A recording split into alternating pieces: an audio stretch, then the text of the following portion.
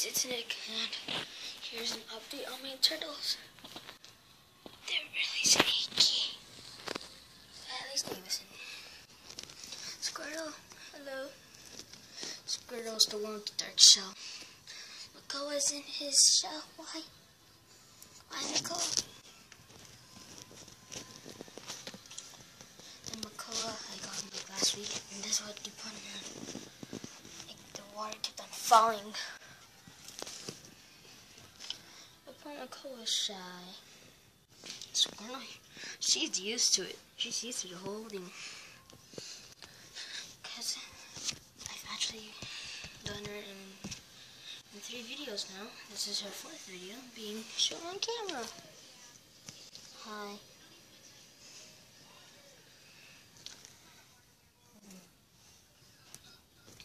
Yeah, um, my turtle video, my first video, I said I'll be doing videos every day. That may not be true. There's some stuff I had to do.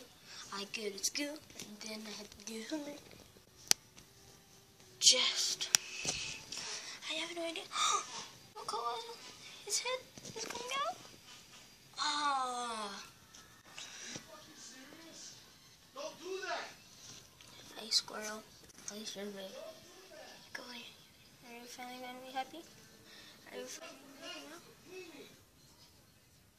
No. Hey, Makoa's head is out. Yay! Clap! Yay! Makoa's head is out now. Want me a little bit? Uh, okay, you just get scared again. Ten times bigger than his height. They're so cute. To most faster is Makoa the male right there. Because I think he just has more energy. And Sword over here doesn't have that much energy, but she's not shy at all.